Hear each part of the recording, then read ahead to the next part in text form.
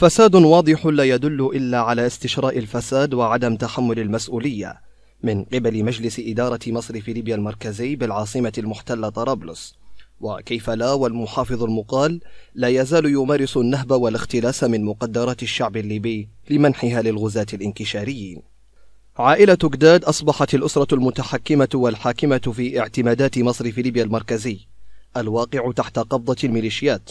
وتحصلت قناتنا على مستندات موثقة تؤكد تورط المركزي بطرابلس بمنح اعتمادات طائلة تقدر بالملايين لعائلة جداد من تاريخ التاسع من شهر أبريل عام 2020 وحتى السادس والعشرين من شهر أغسطس عام 2020 وعدد الشركات التابعة لأسرة جداد التي تحصلت على اعتمادات 85 شركة.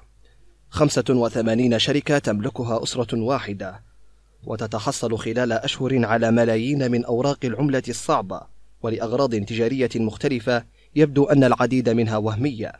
فالهدف هو إفلاس الدولة وإخراج العملة الأجنبية لصالح لوبيات الفساد.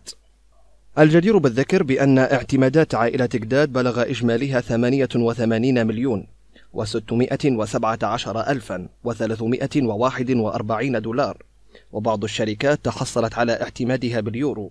وبلغ إجمالها 13 مليون و471 ألفا و661 يورو.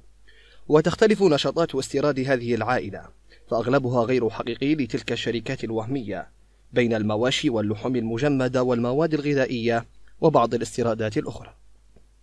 الجدير بالذكر بأن عائلة جداد تمتلك عددا من الشركات بالمنطقة الشرقية ولكن تحت أسماء وهمية لا تمت لعائلة جداد بشيء. والتي تعتبر أهم الأذرع المالية لدعم الميليشياوي والمطلوب دوليا صلاح بادي.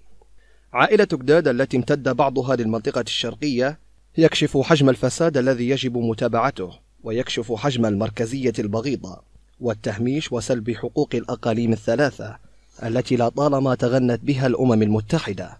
ولكن لا حياة لمن تنادي. فأموال البلاد ونفطها وخيراتها لا يصبان إلا في المنطقة الغربية. وفي بعض المدن بعينها. ولم لا والصديق الكبير ينحني للأتراك ويهدر أموال البلاد في الداخل والخارج.